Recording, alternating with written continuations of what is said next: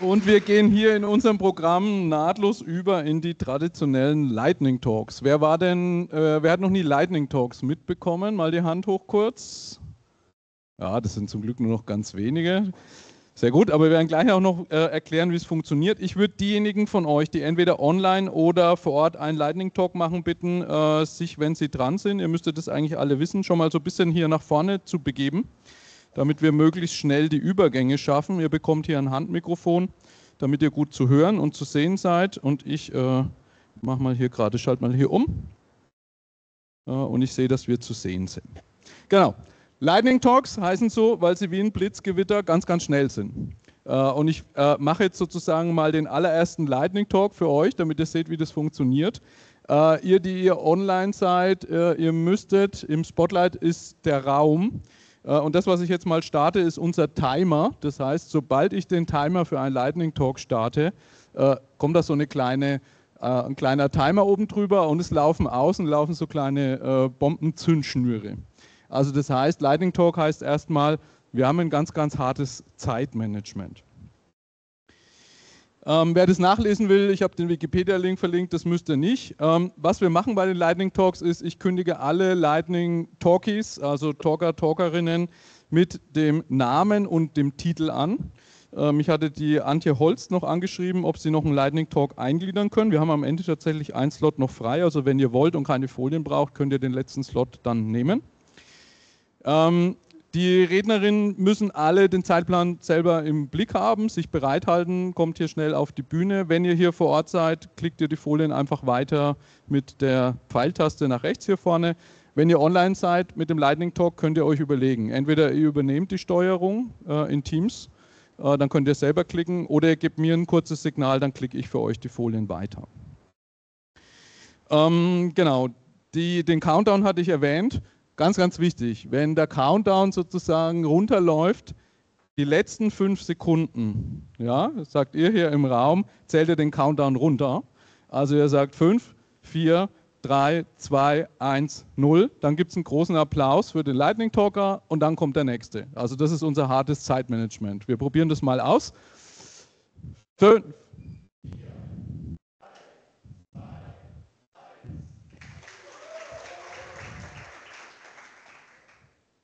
Perfekt. So funktioniert das und das könnt ihr mit mir jetzt nicht machen, weil ich bin in der Zeit geblieben. Also ich bin rechtzeitig fertig geworden. Okay, dann sehe ich aus meinem Augenwinkel schon den Thomas Schmidt, der hier bereitsteht, äh, der uns den Lightning Talk geben wird, gemeinsam mit KI eine Artikelzusammenfassung und einen Social Media Post erstellen. Deine Bühne, Thomas. Sekunde, ich stelle dir noch die Zeit neu. Sauber, weil das kein Druck ist, der Herrin. Das ist das erste Mal, das ist das erste Mal vor 120 Leuten präsent. Ähm, ein bisschen nervös. Yay! Na, zu den äh, nahe ran. Ja, okay. Bin ein bisschen nervös, aber keine Angst, ich stelle mir niemand darin nackig vor. Ähm, gut. Geht das? Schauen wir mal. Jawohl. Ja, du kannst einfach, warte mal, Sekunde. Sekunde, einfach okay. die mit dem müsste da. Ah, geht da. So. Ja, jetzt fährt mein Rechner rund. Jetzt muss ich es aus dem Kopf rausmachen. Okay, also ich bin der Thomas Schmidt. Ich bin äh, begeisterter Papa. Meine Kinder sind so ziemlich das Wichtigste für mich auf der Welt. Ich bin ein leidenschaftlicher Guide ähm, bei Continental. Ähm, das Ganze hat mir an viele Stellen gebracht, wo ich heute bin. Und ich bin ein bekennender Tech-Nerd. So, der Tech-Nerd hat mich dazu gebracht, dass ich mal mit diesen Gadget-Gedanken angefangen habe, wo ich also den ganzen Zeiger Zeit habe, was ich so an ähm, technischen Gadgets umeinander liegen habe.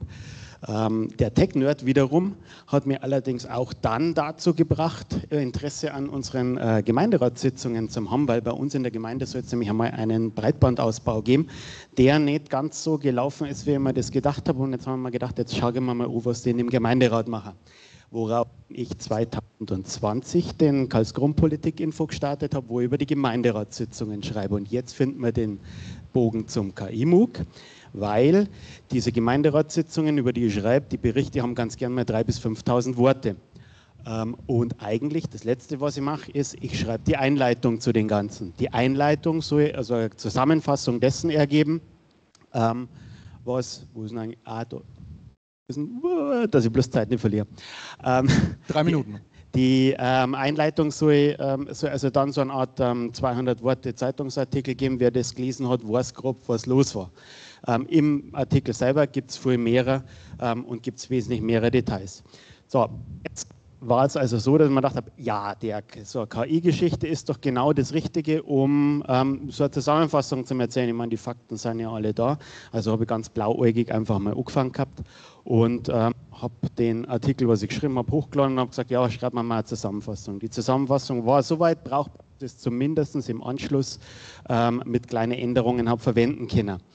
Jetzt kommen wir zu dem, ähm, zu dem coolen Move, der dann irgendwo ähm, ähm, sich dann für mich mit ergeben hat und wo ich, naja, ich bin aus dem technischen Bereich einfach mal so ein Flow-Diagramm ähm, gemacht habe. Für die, die technisch unterwegs sind, ja, das ist eine Endlosschleife, aber das ist Herrin nicht so ganz wichtig. Ähm, also, wie fange ich so, so, so ein Prompting an? Wie läuft mein, mein Prompt-Prozess im Moment ab? Ähm, ich habe eine Aufgabe, die ich der KI stelle und wie wir in diesem ähm, KI-Leitfaden drin gehabt haben, die Persona, also die Rolle ist eigentlich dann ganz wichtig. Damit erarbeitet sich dann ein Vorschlag, beziehungsweise in der Aufgabe selber und das ist das, was man an, äh, damit, sich mit, ja doch, genau, was ich an der Stelle mit herbringe.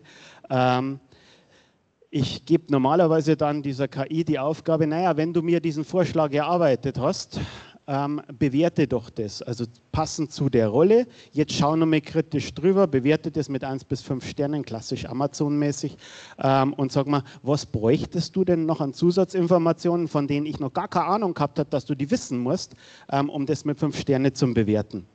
Ähm, und da haben wir genau dieses Verbesserungspotenzial, ähm, das, dann mit rein, äh, das an der Stelle mit reinkommt, wo ich dann einfach diese Informationen auf ähm, Rückmeldung und ähm, eben dann genau diesen Dialog mit dieser KI habe.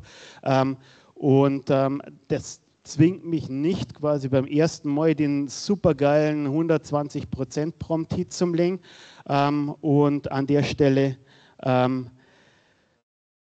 kann man sie dann einfach iterativ weiterarbeiten, bis eben an irgendeiner Stelle, wo ich dann sage, naja, ähm, ich positioniere also die, die, die, weiteren Informationen und das, was jetzt rauskommt, passt. Und dann mache ich meinen Rollenwechsel und sage, naja, jetzt bist du nicht mehr Autor und machst die Zusammenfassung, jetzt bist du Social Media Profi. Ähm, man kann sich jetzt vorstellen, die, die dick interessiert sind, die haben nicht unbedingt ähm, 17, 18 Jahre alt, die liegen meistens so zwischen irgendwo so 30 und, naja, sagen wir mal 60. Das ist so die Generation, die auf Facebook unterwegs ist, also brauche einen ordentlichen Facebook-Post. Und auf die gleiche Art und Weise mit den Gegebenheiten vor, von vorhin, dem ganzen Wissen, der in dem Chat bereits drin ist, sage ja, jetzt bist du Social Media Profi, du weißt genau, wie man so einen Facebook-Post so äh, positioniert, dass der für diese Zielgruppe interessant ist. Und dann landen wir da, wo wir sein wollen. Danke. Vielen Dank dir, Thomas. Das hat perfekt gepasst. Und ich habe als nächstes auf der Liste online den Lightning Talk von der Doris, das Rabbit Hole. Genau, Doris. hallo. Du hast meine Folien zum Weiterklicken. ja, du gibst mir ein Zeichen, dann mache ich es weiter, okay? Die Zeit läuft. Ja, wir haben uns halt in dem Lernzirkel ein neues Format überlegt und das ist der Rabbit Hole Deep Dive und den stelle ich euch hier vor. Genau, next slide, please. Ach, ich wollte das schon immer mal sagen. Was ist das Problem? Was ist ein Rabbit Hole? Wer von euch weiß, was es ist? Okay, viele wissen es vielleicht nicht. Also es ist halt, na, es ist halt, wenn, Brigitte weiß es natürlich. Das ist, wenn wir zum Beispiel uns ein neues Tool angucken und einfach so fasziniert sind, was da geht und was wir hier noch ausprobieren können und was da noch geht. Und ach, das könnte ich ja noch ausprobieren. Und bam, guckst du auf die Uhr und es sind drei Stunden vorbei. Und dieses Thema hatten wir ganz speziell bei dem KI-Leitfaden, weil hier sind natürlich eine ganze Menge Tools angesprochen und äh, sehr viele Funktionalitäten. Und manche wissen auch noch nicht, was sie jetzt genau mit KI in ihrem Alltag vielleicht tun können. Und dadurch entsteht so ein bisschen auch das Thema, ich könnte ja hier hingreifen, da hingreifen und dorthin greifen. Und das macht dann eben dieses Rabbit Hole noch viel, viel tiefer. Und wir haben jetzt überlegt, okay, wie können wir uns denn aus diesem Rabbit Hole rausholen? Und als überzeugte Coworkerin, die der Meinung ist, im Team geht sowieso alles besser. Und wir haben es ja auch heute Morgen schon im Impuls gehört, never prompt alone. und genauso ist auch das Rabbit Hole etwas, was man am besten nicht alleine macht. Deswegen, next slide, please da haben wir uns halt überlegt, okay, lass uns doch an einem Zusatztermin in der Woche nochmal treffen, wo wir für anderthalb Stunden miteinander, jede für sich, aber doch gemeinschaftlich in dieses Rabbit Hole abtauchen. Und das haben wir, wir haben auch auf Discord die Lerngruppe gehabt, deswegen seht ihr hier die Event-Ankündigung. Und auf dem nächsten Slide sehen wir jetzt die Agenda, die wir uns überlegt haben. Äh, das heißt, wir treffen uns ja, 8 Uhr, really? ähm, und das ist auch ganz gut, weil danach fängt nämlich der Arbeitsalltag an. Und wenn du dein Rabbit Hole wirklich vor deinen Arbeitsalltag legst, hast du schon mal die schöne Zeitbegrenzung, dass irgendwann mal die Pflicht in Anführungszeichen ruft und du dadurch auch ein bisschen eingebremst wirst. Und wir haben es halt so verabredet, so ein bisschen, äh, wie man das aus dem Pomodoro-Prinzip kennt, mit anderen Zeiten, aber dass wir halt äh, Sessions machen, wo wir uns in unsere Tools jeweils vertieft haben, nachdem wir erst erzählt haben, was wir vorhaben und dann nochmal ein gemeinsames Päuschen gemacht haben und uns nochmal gemeinschaftlich aus diesem Rabbit Hole kurz rauszuziehen, auch nochmal zu reflektieren, ob das eigentlich das war, was ich machen wollte. Hm, kann manchmal ja auch schon mal passieren, um dann nochmal 30 Minuten nebeneinander in das äh, Loch hineinzuspringen und Dinge auszuprobieren. Und dann haben wir zum Schluss uns nochmal die 15 Minuten gegeben, dass wir uns noch gegenseitig erzählt haben, was wir uns angeguckt haben, weil auch das ist ja super spannend, weil wenn eine aus der Gruppe irgendetwas im Deep Dive angeschaut hat und festgestellt hat, dass das für die und die Aufgabe überhaupt nicht geeignet ist, ja bingo, dann brauche ich ja gar nicht in dieses Rabbit Hole reinzuspringen. Die nächste Folie wenn ich mich richtig entsinne. ah, ja, genau. Wir haben dann noch kurz äh, im Lernzirkel darüber nachgedacht, Mensch, wo passt denn das überhaupt? Und ähm, wir haben halt festgestellt, dass es eigentlich an vielen Stellen auch passen kann und deshalb hier nochmal die positiven Effekte davon. Ihr könnt das ja alles da selber lesen und äh, es ist halt alles genau, was wieder hervorhebt, dass du etwas für dich tust, aber eben durch das Gemeinsame nochmal was Besseres, was anderes, was Wertvolleres und ähm, was nochmal komplett Neues draus wird. Und in der nächsten Folie haben wir euch nochmal äh, unser Brainstorming mitgebracht, wo man dieses ganze äh, Rabbit Hole äh, Deep Dive Session anwenden kann.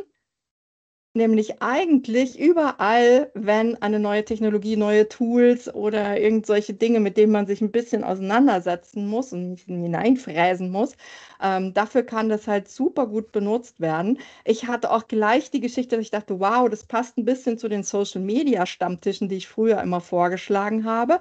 Das könnten ja jetzt auch solche Deep Dive Sessions sein. Und es passt, finde ich, auch super gut in die Leitfadenkonzeption, dass äh, gleich von vornherein vielleicht eine der Treffen-Sessions in der Woche als so ein Deep Dive konzipiert wird oder dass es besonders bei einem Leitfaden wie jetzt der unsrige mit dem künstliche Intelligenz-Thema, wo sehr viele Tools auch vorkommen und Technologien, dass man das dort auch gleich mit anregt, dass man vielleicht Zusatztreffen ausmacht um sich da gegenseitig am Shop zu, äh, zu packen, um nicht abzutauchen. Ich glaube, das war es auch. Danke dir, Doris. Sehr schön. Ich muss noch mal bemerken, hier der Alex, glaube ich, hat das perfekte Dress mit Shirt und Cap. Sehr schön. Nächster Lightning Talk hier vor Ort der Simon, Emotionen und Features, emotionaler Rückblick auf sechs Wochen, nein, sechs Monate Arbeit mit dem M365 Co-Pilot. Danke dir. Äh, ich bin Simon, ähm, voll Dopamin und Oxytocin, weil ich am Samstag geheiratet habe und ähm, äh, möchte euch. Halt, halt, stopp, stopp, das, lasst es, geht von meiner Zeit weg. Ähm, Ich habe sechs Monate Co-Pilot-Erfahrung hinter mir und wollte euch äh, zwei Männer vorstellen, die dafür verantwortlich sind, dass ich in der letzten Zeit relativ emotional war. Äh, einer ist Paul Ekman, der Motivationsforscher ähm, und auch äh, Gefühlsforscher.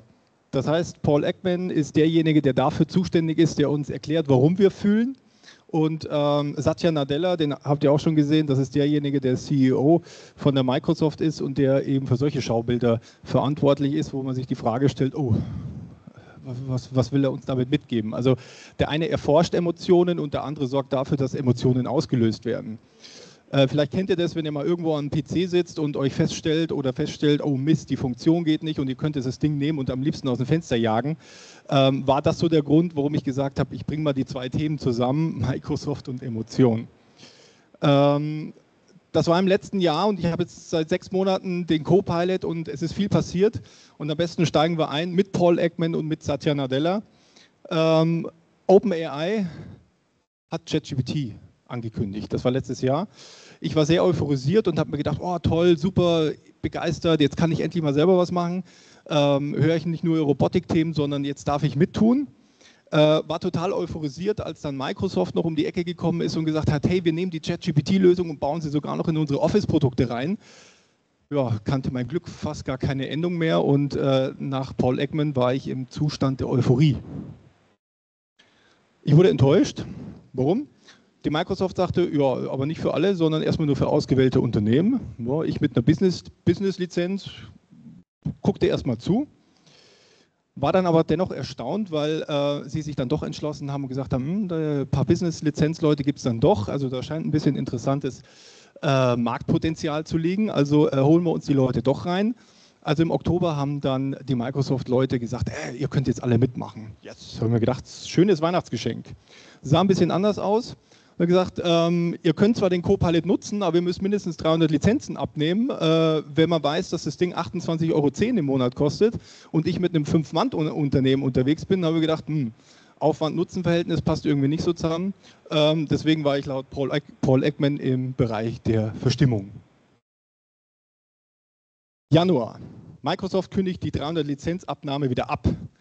Heiterkeit machte sich bei mir breit, weil ich mir dachte, guck an, jetzt doch, also zuerst ankündigen, dann wieder wegnehmen. Nur gut, dann eben so. Seitdem bin ich unterwegs und ähm, es gab dann meinen ersten Tag mit KI im Februar. Könnt ihr euch die Emotionen schon vorstellen, als die erste Meldung kam? Nervosität machte sich bei mir breit. Warum? Äh, Weil es zwei bis drei Wochen dauert, äh, bis die KI, also im Copilot überhaupt arbeiten kann. Also wer hier IT-Leiter ist, Vorsicht, nicht das Ding einfach mal kaufen, einen Tag machen lassen und wieder wegnehmen. Nee, nee, nee. Das muss zwei bis drei Wochen erstmal laufen, weil irgendwie alle Dokumente gelesen werden müssen. War ich auch nervös. Aber es wurde irgendwie anders, weil mein erster Monat sah so aus. Leider ist irgendwas schiefgegangen, kann ich nicht. I'm still learning, I'm sorry, but I'm not currently capable of performing. Dachte ich mir, hoppla, was ist denn da los? Ähm, es machte sich eine Gefühlswelle bei mir breit. Auf der einen Seite Abneigung, weil ich mir dachte, das kann doch nicht sein, ich zahle doch hier 28,10 Euro, das gibt es doch nicht, irgendwie kriege ich da nichts raus. Und auf der anderen Seite Stolz, weil ich mir dachte, die Marketingabteilung von Microsoft muss dermaßen genial sein, die müssen richtig stolz sein, dass sie Sachen ankündigen und auf der anderen Seite die Anwender sich denken, oh, Abneigung. Äh, es wurde stärker in Richtung Ablehnung. Warum? Äh, weil ich festgestellt habe, dass mir irgendwie das alles nichts bringt.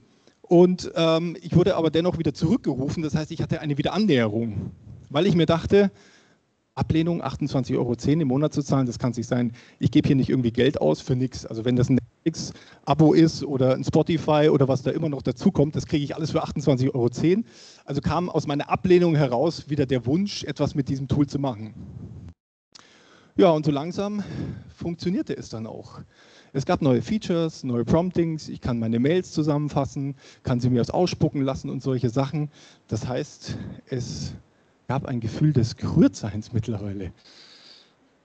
Und wenn man das so zusammenpackt und mal so vergleicht, was da alles rauskommt ähm, und das auch von Microsoft KI gemacht worden ist, habe ich ein krasses Wellenbad der Gefühle durchgemacht in den letzten Monaten aufgrund von zwei Personen, Paul Ekman und Satya Nadella. Ich bin gespannt, wie es weitergeht. Danke euch.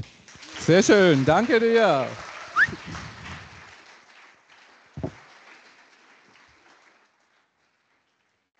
Wir lernen, KI ist wie ein guter Wein, die muss erstmal ein bisschen reifen. Dass es drei Wochen sind, wusste ich noch nicht. Ja, dann haben wir einen Lightning Talk von online, der Max. Max, bist du da? Hey, hört ihr uns? Ja, perfekt. Hallo zusammen. Auf ein Bild haben wir, wo alle drauf sind. Schöne Grüße aus Bern. Von ah, Grüße, das ist die Außenstelle Bern. Sehr schön. Ja, Grüßt euch. Darf ich euren Timer schon starten? Ja, ja, bitte. Alles klar, Zeit läuft. Dann, so. Wir sind da drei Lerngruppen in Bern und äh, wir, wir, haben da spontan uns entschieden, da etwas über unser Learning zu sagen. Ich setze DID ein, äh, Text-to-Speech. Und äh, das hat äh, für meine Kurse sehr gut funktioniert. Aber es äh, hat auch Holpersteine natürlich gegeben. Und ähm, äh, ich weiß nicht, was eure Erfahrung dazu war, weil der vom MOOC her war natürlich die Zeit ein bisschen zu knapp, um alles da durchzuarbeiten, war noch im Urlaub vorher. Und ähm, das, äh, das Bild, das ich da kreiert habe, ist dann auch so vom, vom Üben her mit dem Bildgenerator, was schon gar nicht so schlecht funktioniert hat, werden in, in der Future, also in Zukunft. Und ich möchte das Wort jetzt noch öffnen für zwei, drei Kolleginnen, die da auch noch etwas aus ihrer Lernerfahrung sagen können. Also mein Learning liegt nicht im Bereich der KI. Ich bin heute da zusammen mit Leuten, die ich zum großen Teil noch nicht gekannt oder nur digital gesehen habe. Und äh, ich habe jetzt erlebt, ich habe es im MOOC und der Lerngruppe erlebt, wie viele Denkanstöße, Ideen, Wissensbeiträge äh, da zusammenkommen. Eine super Erfahrung für mich. Ja, also mein Fokus lag darin, dass wir, dass ich eigentlich den Lernpfad in meiner Unternehmung ähm, einführen möchte, damit äh, KI gelernt werden kann ähm, und zusätzlich auch die Methode LernOS, äh, also als Zusatz, als kleiner Bonus. Und in unserer Lerngruppe haben wir festgestellt, dass wir diesen Lernpfad so nicht nutzen können. Wir müssen die Leute stärker an der Hand nehmen, stärker leiten, quasi noch einen engeren Lernpfad äh, erstellen. Wir werden uns im August nochmals treffen und dann an diesem Lernpfad arbeiten. Gerne werden wir das natürlich teilen, sind auch interessiert, ähm, deutsche Mitarbeitende in Zürich zu begrüßen oder auch andere natürlich aus allen Ländern. Ich habe gesehen Luxemburg etc. Und ein weiteres Learning für uns war auch, dass der Lernpfad so Woche zu Woche, das war zu, zum Teil in der Lerngruppe für uns zu eng ähm, vom Timing her. Wir haben uns da aber auch mehr Zeit jetzt noch gegönnt und sind noch nicht mal mit der letzten Runde durch. genau, und vielleicht musst du noch ergänzen, wo man sich melden kann, wenn man mithelfen will den Lernpfad noch zu adaptieren für Menschen, die noch null Erfahrung haben mit KI in Unternehmen. Patricia Kosauer hat vorher gesprochen. Mein Name ist Michael Behler. In der Vorstellungsrunde sind wir beide vertreten. Ja. Und ich finde es auch schön, dass wir virtuell dabei sind in Bern vor Ort. Und in dem Publikum sehen wir viele Kollegen. Gruß nach Nürnberg. Ja. Was, Sehr schön, danke euch. Ja, bitte, was wir noch, äh, wir bleiben da, die Lerngruppen sind zwei, wir werden wahrscheinlich eine daraus machen und uns alle 14 Tage oder einmal pro Monat weiterhin treffen, auch ohne Leitfaden und uns über KI auszutauschen, weil das, äh, die, der Tenor ist so, dass das extrem wertvoll war, Tipps und Tricks von Kollegen und Kollegen zu kriegen, wie die Vorrednerin Doris schon gesagt hat, zusammen geht es viel besser als alleine im Kämmerchen zu Hause. Und auch äh, schönes Dankeschön nochmal an euch, Katja, Max, dass ihr den Satellit, also dezentrale Lokation, möglich gemacht habt, weil das finde ich auch im Hybriden ist das eine ganz coole Geschichte. Ne? Auf der einen Seite sind viele Leute hier, das gibt natürlich eine bestimmte Atmosphäre, aber mit, ich sehe so zehn Leute, zehn, elf Leute zusammen zu sein, ist vielleicht besser als alleine im Homeoffice. Also das wollen wir.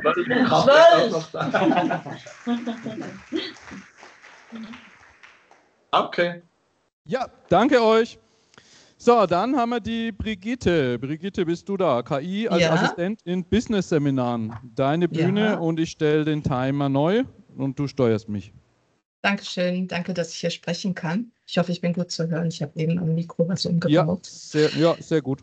Ich bin freiberuflich als Trainerin tätig. Ich habe am KIMUK teilgenommen und ich habe genau parallel zum KIMUK äh, KI eingesetzt für meine Seminararbeit. Und es waren ganz unterschiedliche Seminaraufträge und es waren ganz unterschiedliche Probleme, die ich da gelöst habe. Bitte einfach mal die nächste Folie. Genau, das war das erste war ein Einsatz für Veranstaltungsmanagement, Eventmanagement. Ich habe einen Kunden, bei dem äh, finden auch äh, Seminare statt, bei denen sich nur ein Teilnehmer angemeldet hat. Das sind öfter mal Einzelseminare. Und da hatte sich jemand im Vorfeld angemeldet. Sie wollte das Thema gerne auch unter Einbeziehung von KI. Dann haben wir miteinander ein bisschen probiert. Ich schreibe, ich gebe hier immer die Prompts, ne? Und was dabei rausgekommen ist, das kann man ja, merkt man auch teilweise also wenn man sozusagen von Hamburg aus eine Konferenz in München organisiert, dann ist KI eine super Hilfe, einem ein paar gute Locations vorzuschlagen. Also wenn man aber als Hamburgerin in Hamburg eine Location sucht, wo man viele schon kennt, dann ist es, äh, also dann muss man auch erklären, dass KI nicht unbedingt auf dem aktuellen Stand ist. Aber war doch interessant. Es gab einen anderen Einsatz, Veranstaltungsmanagement, Eventmanagement. Da hatten wir dann Themen wie, welche Form von Erlebnisgastronomie kann man sich für eine Gruppe mit 60 Personen vorstellen? Das sind manchmal Leute, die müssen jedes Jahr ein hochrepräsentatives Gala-Dinner organisieren. Und die können ein bisschen Kreativität gebrauchen, was sie dieses Jahr als Überraschung liefern. Und auch die Geschichte mit dem Unternehmensverband, der sein Format ein bisschen verjüngen wollte, das gab richtig spannende Ergebnisse. Super, sehr nützlich. Machen wir nächste Folie. Genau, dann hatte ich einen Einsatz Resilienz für Führungskräfte. Da war ich zunächst äh, in, der, in der ganzen Vorbereitung, äh, habe ich KI benutzt. Das habe ich nämlich zum ersten Mal gegeben. Ich musste ein Skript ausarbeiten und äh, da war KI großartig. Ja, erstellen wir fünf kreative Ideen für eine Einführung zum Thema. Super, kein Problem auch alle anderen Themen, die ich da so hatte, so für meine, meine, meine geplanten Seminarinhalte, super Hilfe bekommen. Und dann bei Resilienz, dann hatte ich also diesen Teilnehmer und es stellte sich raus, also die Personalabteilung hatte ihnen nahegelegt, dieses Seminar zu besuchen. Und es stellte sich raus, also ich lernte ihn da dann auch zwei Tage lang kennen. Also Resilienz war eigentlich nicht so sein Problem, sondern in dem, in dem Unternehmen äh, da gab es einfach so unter Kollegen merkwürdige Leute. Weil ab, ja, die Leiterin einer ab, anderen Abteilung war übergriffig und die hat eben buchstäblich den Mitarbeiter weggenommen. Und die waren auch noch miteinander verheiratet und das war alles kompliziert. Und das ich bin keine Expertin für diese Art Themen, ja, für betriebliche Organisation, auch nicht für Kommunikation oder, aber KI hat uns super seriöse, kluge Antworten gegeben zu dieser Art Fragestellung. Ne? Und genau, nächste Folie. Dann hatte ich was mit Moderation. Genau, da muss ich auch wieder zum ersten Mal ein Skript ausarbeiten was ist eine Moderation, nenne mehr Moderationstechniken, nenne mehr Moderationsmethoden. Das hat mir KI alles wunderbar geschrieben, ganz toll. Also wirklich super Arbeitserleichterung. Ich muss es ja auch nicht alles eins zu eins übernehmen, habe ich auch nicht. Ich kann auch selber schreiben, aber hat mir wirklich viel Fleißarbeit abgenommen. Ja, und dann hatten wir in dem Seminar, das ja vielleicht so, ja, dann konkrete Frage eingebaut. Manch, manche, manche Prompts habe ich hier gekürzt, ja, für die Moderation eines regelmäßigen Meetings im Zusammenhang und so weiter. Ich bin jung, habe wenig Berufserfahrung. Wie kann ich Zusammenarbeit und Effizienz verbessern? Super Antwort. Richtig toll. Konnte man mitarbeiten. Ja. Und dann machen wir den nächsten. Ja. Geschäftsassistenz, da kamen ganz andere Anliegen. Und äh, ich kann noch dazu sagen, also dass die Leute, die hab, also ich habe so im, im, Laufe des Seminars, ja, auch jetzt können wir, das machen wir mal mit KI, folgende Techniken, probieren wir jetzt hier mal. Das haben die alles völlig störungsfrei und interessiert und dankbar angenommen. So. Also es war über, überwiegend Teilnehmer aus der Windows-Welt und äh, ja, wer Windows-Rechner hat, der hat auch, der hat auch den Browser Edge und im Browser Edge ist der Copilot. Also jeder kann sofort mit KI ausprobieren. Und ich hatte auch eine Teilnehmerin, die hat am Abend des ersten Tages stundenlang ihre eigenen Themen. Also das ja, die hat dann Dankeschön, so Time Danke. is up. Danke dir, okay, Brigitte. Alles gut, danke. Dann da ist eine richtige Prompt-Library zusammengekommen. Vielen, vielen Dank. Es sollte Als nächstes der Carsten, genau, sind ein paar Folien noch gut. drin. Danke. Äh, ich gebe dir ein Zeitsignal. Äh, okay, also komm mal hier nach oben, Carsten. Ems, Zehn Indizien, dass dein Company-Content nicht AI-ready ist und die Genau. Zeit läuft. Das habe ich nur getan. Mal schauen, wie ich komme. Ähm, wir hatten es heute schon mit Filmen. Hey Doc, wir sollten noch ein Stück zurücksetzen. Auf der Straße schaffen wir sonst nie 140. Aus welchem Film? Welches Jahr? 85, perfekt. Äh, sagt der Doc, wo wir hinfahren, brauchen wir keine Straßen. Ja? 1985, 20 Jahre nach der Erfindung des Hypertexts. Ja? Hypertext, das ist ähm, das, was ihr alle kennt mit Links, aber die schön aussehen und funktionieren und robust sind. Aber noch zehn Jahre vor der Erfindung des ersten äh, Wikis, des Wikiwebs. Ja? Ähm, okay, wir brauchen noch Straßen. Ja? Äh, die digitalen Inhalte, die Dokumente und das Wissen einer Organisation, das sind die Straßen, die jetzt der KI als Infrastruktur ja dienen sollen. Ja? So, und wir sollten dafür sorgen, dass das keine Trampelpfade sind, auf denen wir versuchen, mit sowas wie einem Sportwagen zu fahren. So, was sind jetzt die zehn Indizien, dass wir in Unternehmen äh, Trampelpfade bewirtschaften und eigentlich nicht AI-ready sind? Also, erste, erster Hinweis. Das Strategiewissen der Firma steckt zu 80 Prozent in PowerPoints. FAQs sind in Excel, äh, obwohl es überhaupt nichts zu rechnen gibt. Ja? Organisationsintern werden PDFs oder Docs, manchmal auch gezippt, per E-Mail verschickt. Ähm, etwas besser, es werden Hyperlinks verschickt, das sind wir dann beim Hypertext. Ähm, doch äh, die Hyperlinks sind wieder kaputt oder nach einiger Zeit nicht mehr zugreifbar. Spätestens aber, wenn man das nächste Mal äh, den Content aktualisiert, ist der Hyperlink kaputt. Oder sieht besonders schön aus, haben wir auch einige Beispiele von der Firma, die schon genannt wurde. Ähm, Gut, Content sieht immer frisch aus, auch ganz wichtig, und zwar so lange, bis das Design aus der Zeit fällt. Ganz wichtig ist auch, Hinweise auf Autoren, ähm, Aktualität oder Aktivitäten von anderen Personen möglichst gut zu verstecken. Ein Kollege hat das mal sehr schön als Zeitung hinter Glas äh, benannt. Ähm, dann wird es schwierig, wenn Teilinhalte, also ein Teil des Inhalts, der wird plötzlich äh, wichtig und der wächst ganz stark. Ähm, und man muss jetzt wieder neu beginnen, nächstes Tool, neu anfangen. Man könnte das auch so ein bisschen als das Whiteboard-Wiki-Ticket-Problem bezeichnen, wenn sich der Content so dann zwischen die, durch die Digitaltools bewegt. Ähm, genau, also überhaupt, wenn man, ähm, was die Strukturierung von Inhalten angeht, wenn man da in der Folder-Document-Struktur Galaxis steck, äh, feststeckt, dann ist man doch einige Jahrzehnte eigentlich äh, von den Autobahnen entfernt, die die KI bräuchte. Wenn man jetzt noch ein bisschen strategischer äh, nachdenkt, was könnte da noch äh, der Hinweis sein, dass man äh, Probleme bekommt? M, Die Firma hat sehr tiefe Taschen für Consumer-KI, haben wir eben schon gehört, 28,10 Euro pro Monat. Ja, aber leider kaum tiefes Wissen darüber, wie die KI eigentlich äh, funktioniert. In letzter Konsequenz mein Lieblingszitat von Richard Feynman, What I cannot create, I do not understand. Ähm, es werden ganz gerne auch ähm, KI-Lösungen, also wir reden ja eigentlich nur noch von Machine Learning, wenn wir über KI sprechen, eingekauft, weil das klingt im Prinzip nach Null Arbeit. Alles macht die Maschine.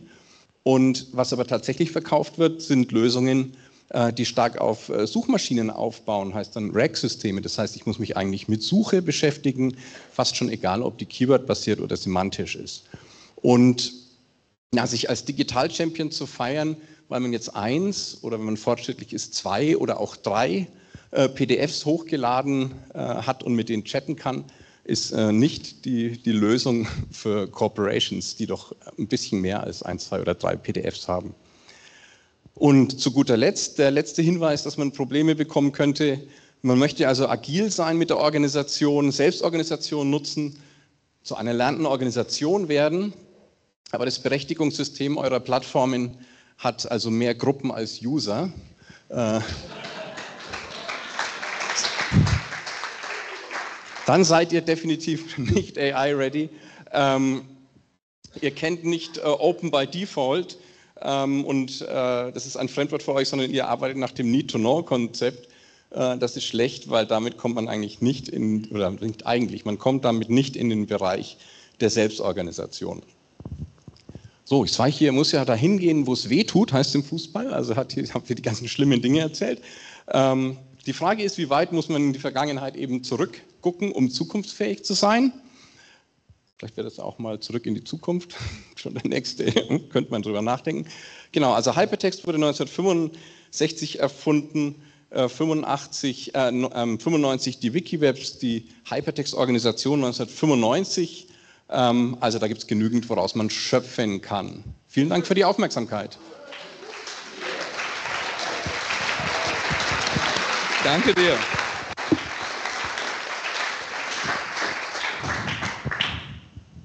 So, dann haben wir als nächstes online den Winfried. Den sehe ich auch schon aus dem Augenwinkel. Bist du bereit, Winfried? So bin ich. Immer wenn ich eine Zahl sage, bitte weiterklicken, Simon. Danke. Alles klar, dein Timer läuft. Ja, ähm, ich war mit in der Lerngruppe beim KIMOG 2024 und ich möchte mit euch drei Dinge teilen. Das erste, was ich mit euch teilen möchte, ist folgendes. In der Gruppe Lernen macht viel mehr Spaß als alleine. Ihr seht hier unsere Gruppe äh, Farbenblinde Lernen KI. Und ich will euch ehrlich sagen, wir haben uns nur ein einziges Mal in dieser Konstellation getroffen. Und dennoch war jedes Mal, wenn wir uns Mittwoch Nachmittag zusammengesetzt haben, äh, für mich ein lehrhafter und lernreicher Prozess. Warum? weil man sich offen darüber austauscht, an was man gerade denkt, weil man sich offen darüber austauscht, wo gerade die Dinge sind, mit denen man, an denen man weiterkommen möchte. Und für mich persönlich war es auch immer, Mittwoch trifft sich die Gruppe, Dienstag fange ich an, am Leitfaden zu arbeiten. Also erstens, in der Gruppe lernen macht viel mehr Spaß als alleine. Zweitens, ganz einfach, poste Leitfaden-Content und diskutiere darüber. Ähm, ich glaube, Simon hat die Sache super hochgestellt, indem er gesagt hat, postet Learnings und so Sachen. Nee, fangt mal an, euch zu überlegen, dass äh, Bilder oder Grafiken, die da in dem Leitfaden sind, dass ihr die mit eurer Community teilt.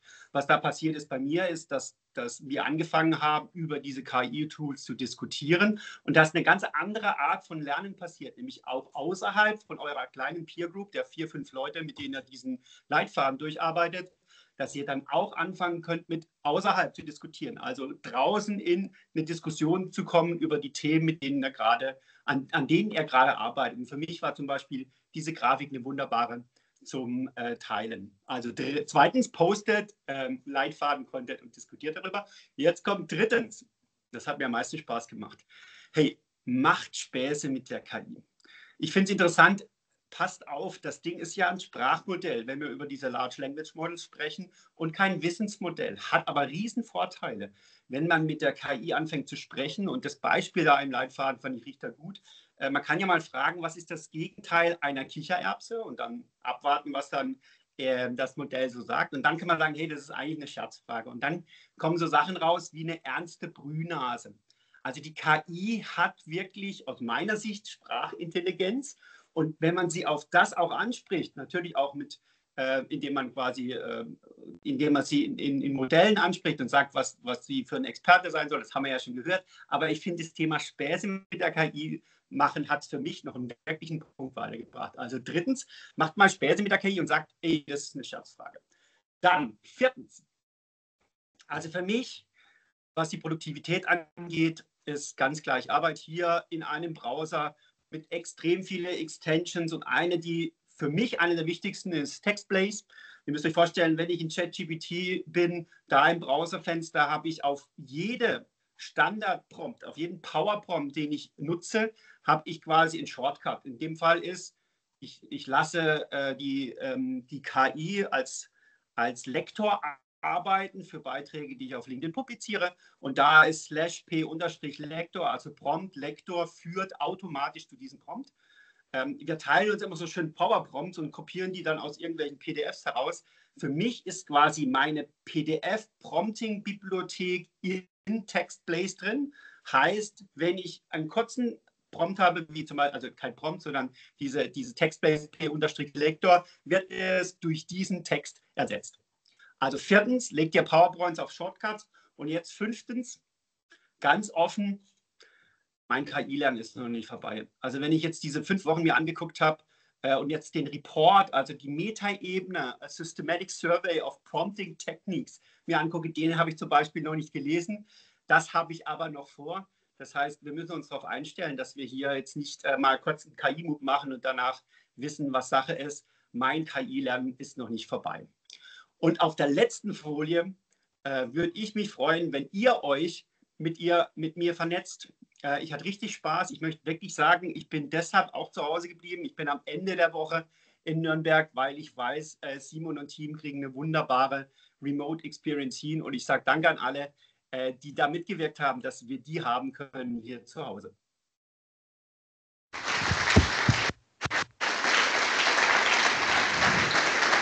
Danke dir, Winnie. Dann haben wir online die Susan, ein Semester mit KI, Textgenerierung in Medienunternehmen. Ja, hi. Ähm, ich habe jetzt keine schönen Folien. Prinzipiell könnte da die auch weglassen. Das ist ich deine Entscheidung, wie ist dir lieber? Äh, ich ich höre mich jetzt, äh, kannst du gerne weglassen. Ich höre mich aber jetzt gerade doppelt. Ich weiß nicht, ist es ein technisches Problem oder jetzt ist weg. Danke. Dann können wir gerne loslegen. Hört ihr mich noch? Ähm, ja, also ich äh, befasse mich jetzt seit äh, dem letzten Jahr schon, Anfang letzten Jahres viel mit KI in der Hochschule und in der Hochschullehre und äh, wollte euch äh, zeigen, ähm, äh, was, was mein Kollege Tobias Kutzner und ich äh, für ein Modul entwickelt und auch mit Studierenden durchgeführt haben. Äh, und äh, dann äh, vielleicht auch noch die Frage beantworten, konnten unsere Studierenden dann überhaupt noch von, von diesem Modul profitieren, wo man ja meint, dass die wahrscheinlich schon alle viel weiter sind mit dem Herumexperimentieren mit ChatGPT und Co. Ähm, unser Ziel mit dem Modul war es, den Studierenden einen reflektierten Umgang mit generativer KI und deren Anwendung im Medienbereich näher zu bringen, was dann auch so ein bisschen den Link zum wissenschaftlichen Arbeiten noch brachte als, als Benefit für die Studierenden. Und die Studierenden, die konnten durch den Einsatz äh, von diesen Texttools dann äh, nicht nur effizienter recherchieren, äh, schreiben und veröffentlichen, sondern haben auch ihre, ihre Ausdrucksweisen oder wie sie äh, gelernt haben, äh, sich anders auszudrücken mit Hilfe von KI, äh, das hat sich auch nach deren eigenen Feedback definitiv hinterher verbessert. Ähm, wir hatten das Modul interdisziplinär aufgebaut, äh, waren noch mit mehreren Studiengängen unterwegs, äh, hatten noch eine Journalistin mit an Bord, die uns äh, da noch mit äh, mit Input äh, versorgt hat und haben eine Einführung in Medien- und KI-Tools gegeben, äh, Grundlagen für Recherche, journalistisches und wissenschaftliche Arbeiten äh, vermittelt und äh, denen auch weiterführende Tools äh, für Recherche, Transkription und Bildgenerierung äh, äh, gezeigt und Übungen mit denen durchgeführt. Und natürlich auch ganz wichtig, äh, was eine große Rolle gespielt hat, waren rechtliche Grundlagen und ethische Überlegungen, die wir gemeinsam mit den äh, Studierenden äh, angestellt haben. Äh, genutzt haben wir äh, dafür, um es für alle zugänglich und auch niedrigschwellig zugänglich zu machen für die Studierenden ähm, Phobis-KI-Tools. ich weiß nicht, ob das bekannt ist. Wenn nicht, sprecht mich gerne an, kann ich dann später noch was zu sagen zu Text- und Bildgenerierung ähm, wobei die meisten Studierenden dann am Ende tatsächlich schon eigene ChatGPT-Accounts hatten. Ähm, die haben bei uns in, in Gruppen äh, gearbeitet und äh, ihr Ziel war eigentlich äh, als semesterbegleitende Aufgabe äh, in, in, Gruppen journalistische Beiträge, also Artikel für eine bestimmte Zielgruppe zu schreiben. äh, und haben aber auch in den äh, Vorlesungen äh, Übungen gemacht, wie zum Beispiel äh, aus ähm, Polizeimeldungen Nachrichten schreiben oder mal Schreibaufgaben zu sammeln und in viel, äh, viele verschiedene, äh, also in diese ganzen Unterschritte, ne, was ist dafür nötig, um diese Schreibaufgabe zu bewältigen, zu zerlegen und dann mit Tools zu testen, ne, was lässt sich gut mit KI machen, was nicht. Ähm, und wir haben auch Plagiatserkennungstools und KI-Erkennungstools äh, getestet, äh, also wirklich intensiv getestet. Es äh, war sehr spaßig teilweise. Und ein absolutes Highlight äh, für die Studierenden war die Exkursion zu unserem Funkerberg-Museum in äh, Königs Wusterhausen, wo wir nicht nur deutsche Radiogeschichte erlebt haben, äh, sondern uns auch noch die Simulation von der Moderatorstimme ähm, Eva 2.0 von Baden FM, ich weiß nicht, wer da reinhört, ähm, erleben konnten. Das, das war wirklich äh, grandios. Ebenfalls hatten wir ursprünglich die Befürchtung, dass die, äh, die Studierenden da vielleicht überhaupt gar nicht mehr wirklich viel bei uns lernen. Aber das Gegenteil war tatsächlich äh, der Fall. Das Feedback der Studierenden äh, war äh, durchweg äh, sehr positiv. Ähm, die haben auch die Möglichkeit, das alles auszuprobieren in diesem geschützten Rahmen ähm, sehr geschätzt. Und ich habe mal noch zwei O-Töne mitgebracht. Äh, einer schrieb uns hinterher als Feedback, ich habe gelernt, dass KI-Generierungstools kein Zauberwerkzeug sind, sondern Fähigkeiten erfordern, erfordern, um effektiv damit zu arbeiten. Und ein anderer schrieb, äh, dass es sein Verständnis für ethische und rechtliche Aspekte äh, im Medienbereich stark erweitert hat. Und das äh, fand ich dann doch ein ganz gutes Feedback für unser Modul. Und aufgrund dieser positiven äh, Resonanz und auch der guten Anbindung hier vor Ort an lokale Medien planen wir das äh, Modul äh, fürs nächste Sommersemester, also 2025, weiterzuentwickeln unter dem Titel Von Text bis Podcast äh, KI bei Schwarzkopf Media, weil wir hier in der Schwarzkopf-Siedlung äh, angesiedelt sind mit der Hochschule und äh, wollen dann eben uns nicht mehr nur auf Text fokussieren, sondern auch in dem Bereich Radio und Podcast-Inhalte ähm, vordringen, äh, weil das ja Nachrichten auch zugänglicher macht, wenn man dann mit verschiedenen Medienformaten arbeitet. Tja, ähm, dann bedanke ich mich jetzt äh, für eure Aufmerksamkeit und ähm, ja, bin gespannt, äh, wer möchte, stellt mir dann äh, später irgendwann noch gerne Fragen. Dir, Susan, dein Applaus. Dann der vorletzte Lightning Talk, der Harald, mit den VUCA Rockers Perspektive auf KI. Und ich, hier kannst du dann weiterklicken, ich starte den Timer. Ich auch. Sehr gut. Danke. Also, ich äh, versuche ja immer so ein bisschen die VUCA-Rockers-Perspektive. VUCA-Rockers sind so ein paar Verrückte, die sich von VUCA nicht abschrecken lassen, sondern eigentlich damit spielen wollen, zu werfen. Das heißt, ich versuche einfach mit ein paar kleinen Impulsen euch nochmal die KI auf andere, äh, auf andere Richtungen zu wirken. Was mir ganz oft auffällt, ich habe mal so versucht, so eine Entwicklung Geschichte zu machen. Wie hat es denn für mich erkenntlich angefangen? So mit Web 2.0 vom Konsumieren zum Mitmachen. Dadurch ist eigentlich Diversität entstanden. Also man konnte plötzlich erleben, wenn, wenn in einem sozialen Netzwerk oder wenn in einer Wiki plötzlich ganz viele mitgemacht haben, wie reich eigentlich, wie groß der Reichtum ist. Also Vielfalt. Dann kam irgendwann Enterprise 2.0, E2.0, die große Entwicklung, soziale Plattformen in Unternehmen. Ich habe da mal das Thema Achtsamkeit mit reingenommen, weil dadurch, dass plötzlich so viel da war, musste man sich ja reduzieren und wieder fokussieren. Was mache ich denn jetzt, wenn plötzlich alles da ist? Ging dann weiter, dann wurden äh, über die E2.0-Plattformen Netzwerke möglich, also arbeiten plötzlich in großen Mengen, also nicht mehr viele Köche verderben den Brei, sondern je mehr Köche, umso besser wird es essen. Dann ging es weiter in Richtung Augenhöhe, wenn man plötzlich mit Leuten zusammenarbeitet aus unterschiedlichen Kulturkreisen, Hierarchieleveln und so weiter. Naja, dann brauche ich keine Hierarchie mehr, die ist eher hinderlich. Dann ging es hier weiter in Richtung New Work, Handlungs- und Entscheidungsfähigkeit von einzelnen Personen. Wenn die Verantwortung übernehmen, müssen sie auch Entscheidungen treffen können. New Work-Gedanke ist schon viel, viel älter, also der gehört eigentlich ganz an Anfang. Da ist dann entstanden so, oh, jetzt wird es alles volatil und wie auch immer die ganzen Buchstaben alle heißen, dynamisch und äh, ambiguous, also mehrdeutig und so weiter.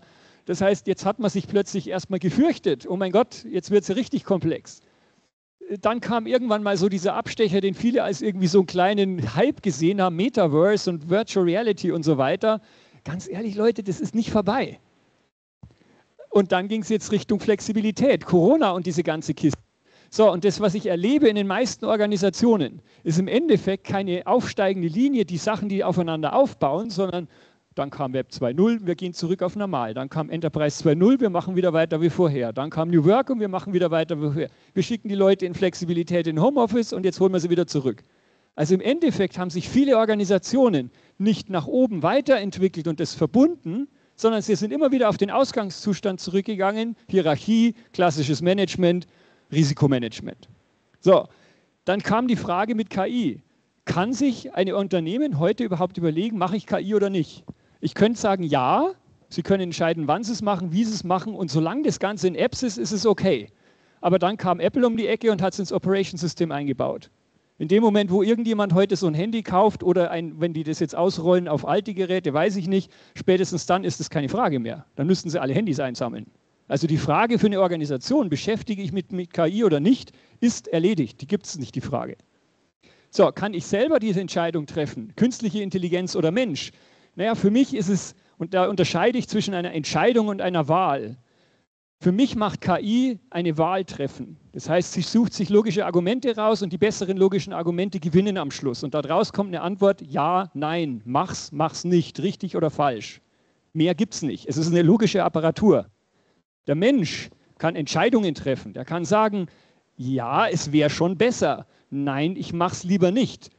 Ich weiß, dass es besser wäre und ich mache es aber trotzdem weil ich einen anderen Gestaltungsrahmen habe als eine KI.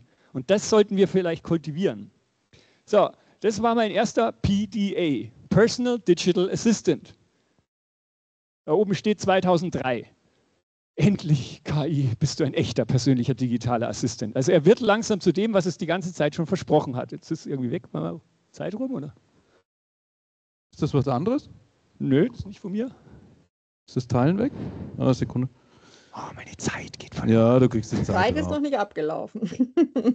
Da, da, da, da, da, da, da, da, da, da.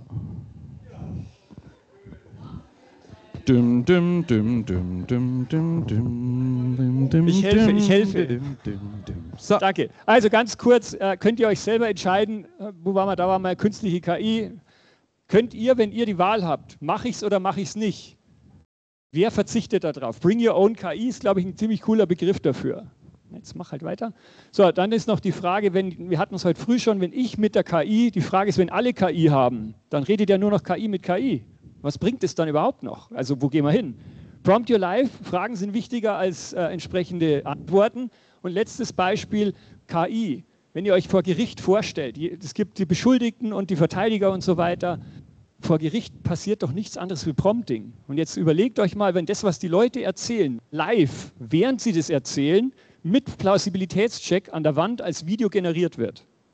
Ich bin ziemlich sicher, das werden wir relativ bald erleben. Und nochmal der letzte Satz Richtung Metaverse. Ich bin über, überzeugt, dass KI Metaverse dramatisch fokussieren wird, weil das teuerste von Metaverse waren Räume generieren. Und die kann ich im Endeffekt mit KI in Realtime erzeugen lassen. Von der KI. Also Metaverse wird in meinen Augen einen Riesenboost kriegen durch KI. Das war nochmal so ein letztes Beispiel, was viele nicht so machen. Ihr fragt immer Text, macht doch ein Foto von etwas, was ihr nicht benennen könnt und sagt, hey, wie heißt denn das Ding? Letzter Satz, KI ist Wild West. Es ist alles möglich, jeder kann seinen Claim abstecken, es gibt kaum Gesetze, es werden immer mehr, aber jetzt wird entdeckt. Also macht mit. Vielen Dank. danke dir.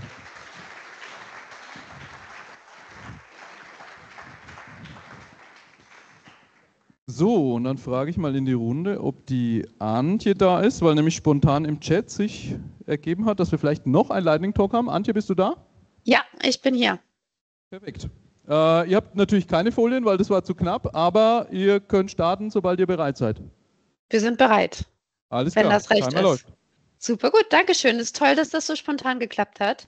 Thema ist nicht KI. Thema ist ein neuer Leitfaden, der fertig geworden ist und der heißt Aktiv für Nachhaltigkeit. Und an dem haben mehrere Personen mitgewirkt. Davon ist nur eine hier dabei, das ist Ruth Habermehl. Die muss jetzt bitte aufmerksam zuhören und korrigieren, äh, wenn ich irgendwas äh, falsch sage oder vergessen habe.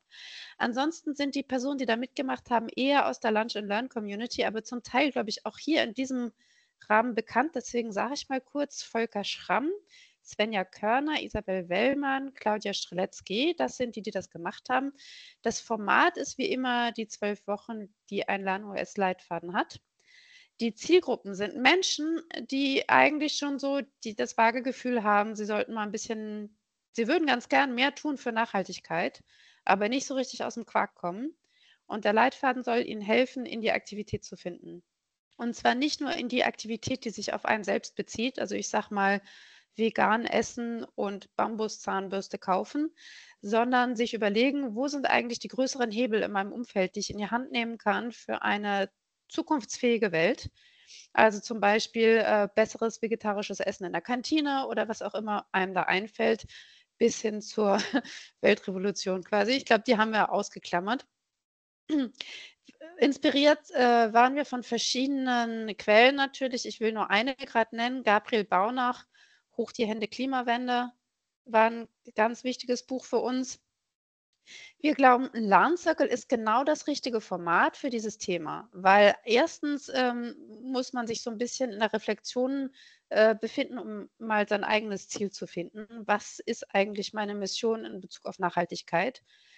Dann geht es viel darum, auch, sag ich mal, mit den eigenen äh, negativen Emotionen klarzukommen. Denn das, äh, warum man nicht aus dem Quark kommt in Bezug auf Nachhaltigkeit, hat ja häufig gar nicht damit zu tun, dass man zu wenig weiß über das Thema, sondern dass man sich eher selbst auf den Füßen rumsteht. Und zum Dritten geht es natürlich auch darum, sich gegenseitig accountable zu halten und nachzuverfolgen, was man sich vorgenommen hat. Also alles gute Gründe, daraus einen Lernzirkel zu machen. Äh, und der Call for Action wäre in diesem Fall, dass sich vielleicht Leute finden, die Lust haben, den mal auszuprobieren. Entweder in dieser Runde oder vielleicht in eurem Bekanntenkreis. Also da gibt es vielleicht Menschen, die ihr kennt, die auf solche Themen schon immer mal Lust haben und dann könnten wir den äh, mit äh, den Menschen verproben. Gut, was sagst du? Was, äh, was ist noch dein Votum? Was hätte ich noch sagen müssen? Ich finde, du hast es gut gebracht. ähm, wir haben wahnsinnig viel Material gehabt. Wir hatten genau diese Frage, wahnsinnig viel Zeug, was man da noch hätte mit reinbringen können. Und wir haben äh, da halt sehr gekämpft um alles, was drin bleiben darf und ähm, sind aber trotzdem sehr, sehr froh, wenn wir eine Rückmeldung kriegen, ob das jetzt tatsächlich die Inhalte sind, die weiterhelfen, äh, wie das in den Gruppen erlebt wird und so. Und da äh, würden wir uns sehr freuen auf viel, viel Feedback dazu, damit der äh, Leitfaden immer besser wird. Und selbstverständlich ist der auch ganz prima geeignet, um ihn in Unternehmen zu verwenden. Das äh, muss man mal ganz klar sagen, damit das da eben so ein bisschen aus Spezialistenwissen rauskommt und so mehr in die Breite getragen werden kann, jetzt über so eine allgemeine Belehrung hinaus. Das wäre mir vielleicht noch ein wichtiger Punkt. Mhm. Mir sind gerade noch zwei super Selling Points eingefallen. Das eine ist, dass wir uns ganz breit bedient haben bei allen möglichen anderen Quellen. Zum Beispiel wir, nutzen wir auch einen Climate Action Canvas. Ähm, also das gibt es ja bei vielen Leitfäden. Also mir fällt zum Beispiel der Community Canvas ein, den ich sehr praktisch finde. Und da gibt es eben auch einen Climate Action Canvas, der ist nicht von uns, aber den, den bedienen wir quasi über diesen Leitfaden. Und das andere ist, dass in dem Team nicht nur Ruth, sondern auch andere halt Psychologen sind. Und da geht es eben auch viel darum, wie kommt man von, äh, von so vagen Klimagefühlen in die Aktion und wie kann man das in der Gruppe unterstützen, sodass das auch wirklich funktioniert. Ja, und dann ist das ja sowieso eins der großen Heilmittel in dem Thema, in die Aktivität zu kommen, dass man sich zusammenschließt in einer Gruppe. Das ist ja sowieso das, was man braucht. Also nicht nur bei LernOS Light-Gruppen, äh, Gruppen, sondern auch äh, um etwas zu tun für eine gute, nachhaltige Zukunft, die eben nicht unsere lebensnotwendigen Ressourcen verschwendet. Danke euch, euer Applaus.